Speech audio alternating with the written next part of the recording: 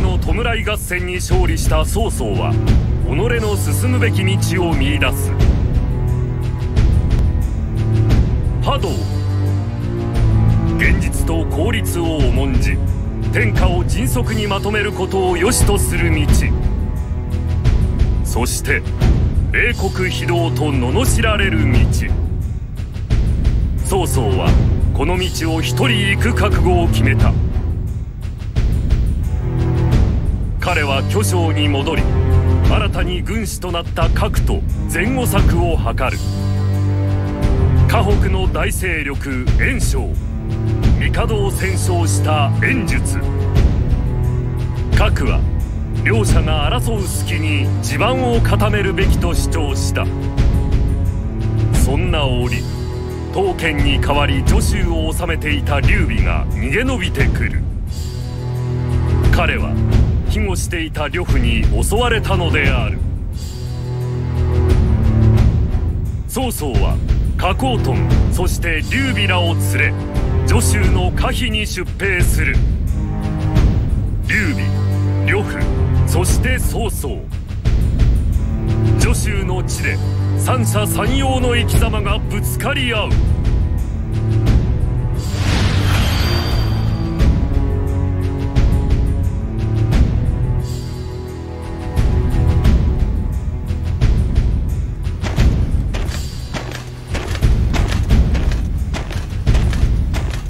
曹操殿助手の奪還にご協力いただき。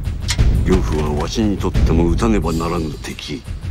お主が頼らずともいずれは動いていた。いえその義心に感謝いたします。そのような形のないものでわしは動かん。この戦は我が元に豪傑を得る子。例えばそう名高き部を持つ関羽のような男をなそれは。さてそろそろ進軍すべき頃合いであろう。皆の者進めい。太陽を包囲せよ。この地で呂布に引導を渡すのだ。さて私たちは西の城門を抑えよう。明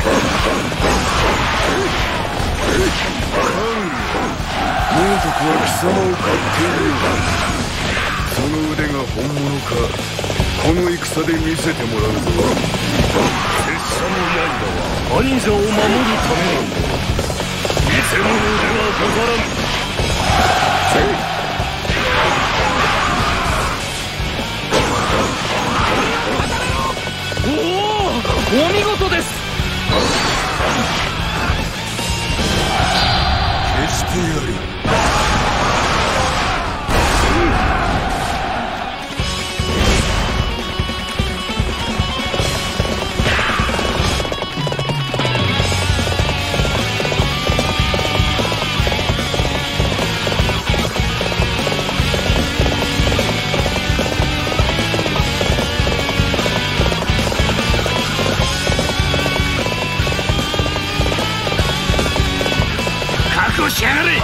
とひねりにしてやるぜ。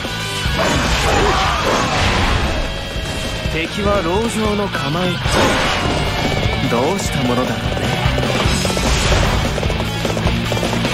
この近くには水門があったはず。壊せば城を水攻めにできるんじゃないかな。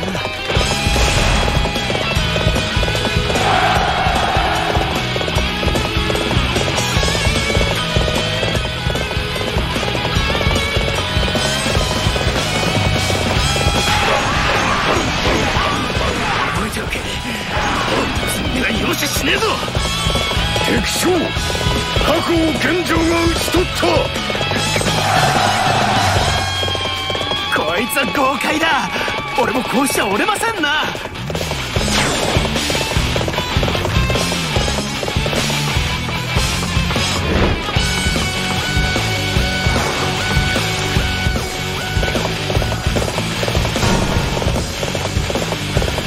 やはり水門を狙ってきたか。覚悟しやがれ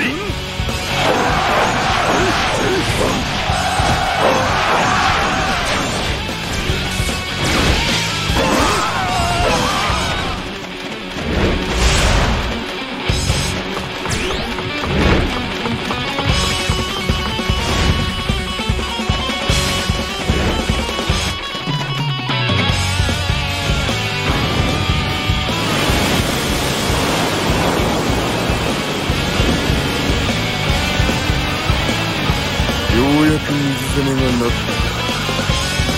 だが戦はこれから。呂布の首を取る。関羽に遅れを取るな。はっ！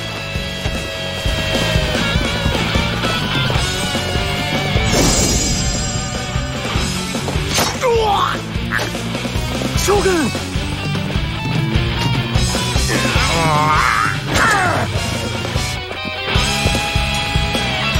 何を立ち止まっている？俺に続け！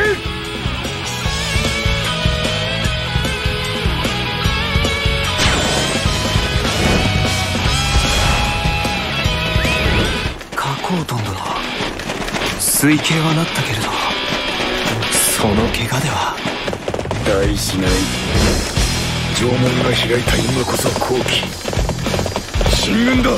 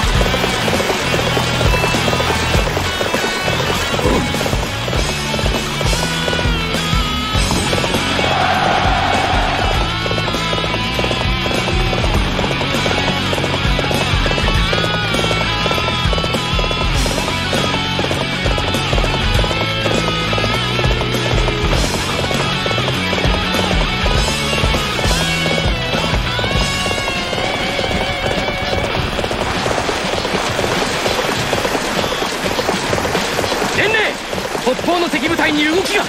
まっすぐ曹操様に向け進軍しています。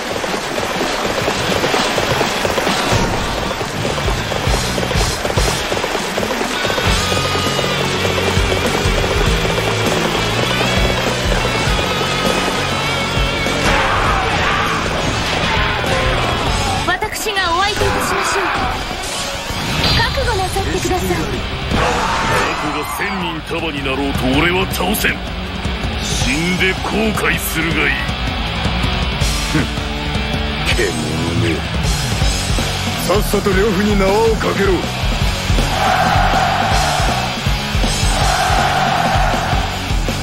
引くことがそのまま負けではない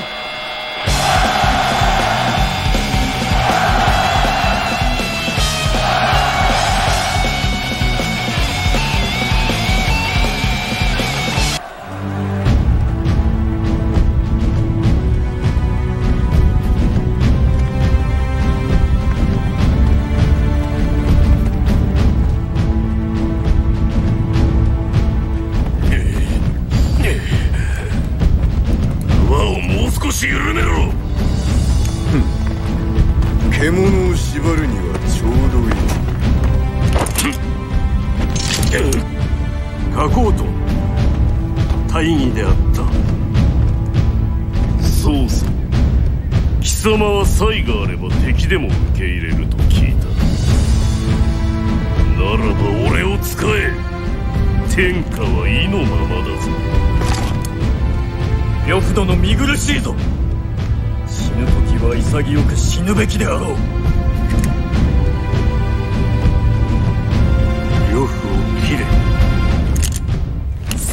そう貴様。なぜだ。劉備殿であればあの呂布にも情けをかけた。か